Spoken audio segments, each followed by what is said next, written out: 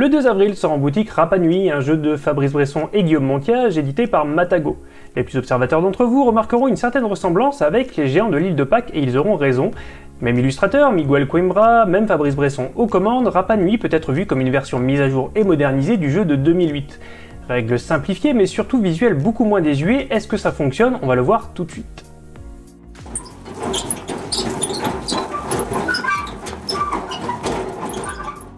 Rapa Nui est un jeu de pose d'ouvriers dans lequel vous incarnez un clan vivant sur l'île de Pâques et cherchant à obtenir le plus de faveurs possible en bâtissant puis en décorant des statues Moai.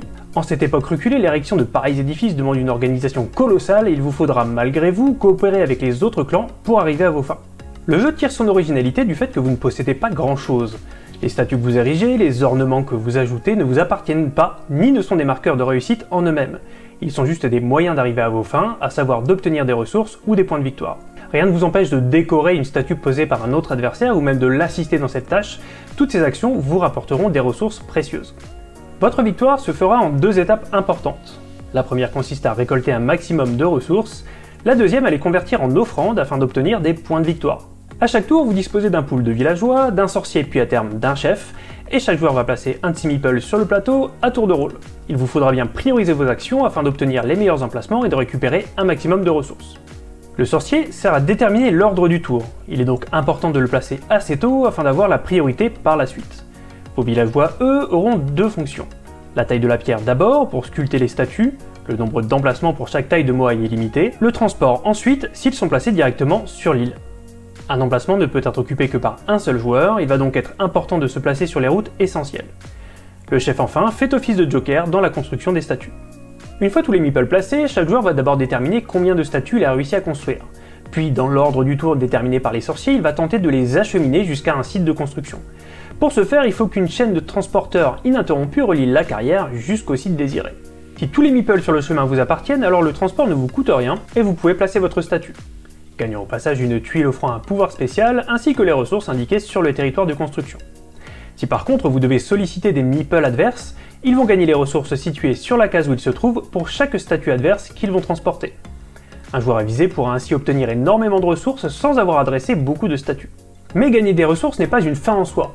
Pour gagner des points de victoire, il vous faudra des offrandes que vous générerez en décorant les statues. Pour ce faire, il vous faudra acheminer depuis le site de taille les décorations et avoir un villageois près de la statue pour la coiffer. À ce moment-là, vous aurez la possibilité de dépenser une partie de vos ressources pour obtenir une offrande. En plus des tuiles obtenues en construisant des statues, qui offrent des bonus ponctuels, vous aurez la possibilité de dépenser vos ressources afin d'améliorer votre clan en élisant un chef ou en augmentant votre nombre de villageois par exemple. Simple et accessible pour un jeu de pose d'ouvriers, Rapa Nui n'invente rien mais mélange avec brio plusieurs concepts. Le fait d'avoir un nombre très limité d'ouvriers et en plus de devoir en investir une partie pour la taille des statues implique que les zones les plus éloignées de la carrière, et qui recèlent les ressources les plus précieuses, sont quasiment inaccessibles à un joueur seul. Il faut donc passer par une astucieuse phase de coopération et s'associer aux autres joueurs pour créer de longues routes en essayant de leur faire gagner le moins de ressources possible. De la même manière, laisser un joueur construire une statue pour la coiffer le tour suivant et rafler les points de victoire fait partie de petits moments grisants qu'offre Rapa Nui. De par ses règles simples mais ses mécaniques ingénieuses, Rapa Nui est à mon sens une excellente porte d'entrée pour les joueurs qui ne connaîtraient pas ou qui auraient peur des jeux de pose d'ouvriers. Il propose dans un format contenu, ce qui fait la base de jeux beaucoup plus experts, tout en offrant une interaction permanente puisque la plupart des routes doivent se préparer en commun. Pour ce qui est de considération plus terre à terre, le matériel est sublime surtout pour le prix. Plateau joueur double couche, meeple personnalisé et statut très réussi renforcent vraiment l'immersion et le thème. Rapa Nui représente pour moi un excellent investissement si vous cherchez un jeu de gestion ni trop long ni trop complexe pour des parties de moins d'une heure. Je terminerai cette revue en vous parlant du Game Up que je n'ai pas le droit de vous montrer, il est là. Euh, mais je peux tout de même vous parler du contenu, c'est annoncé pour septembre. Alors comme dans le jeu vidéo, moi je noue une certaine inquiétude euh, si ce concept venait à se généraliser. Autant pour Rapa Nui, il n'y a aucun souci, le jeu est parfait sans. Et si vous achetez ce petit Game Up, vous aurez pas mal de possibilités assez sympas, comme le fait de pouvoir agresser l'adversaire, détruire ses statues, etc.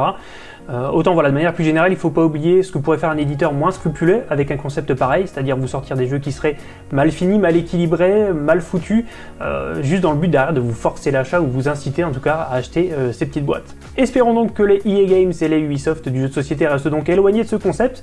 En tout cas, c'est tout ce que j'ai à dire sur Apanui pour aujourd'hui. Je vous souhaite de belles parties et je vous dis à très bientôt.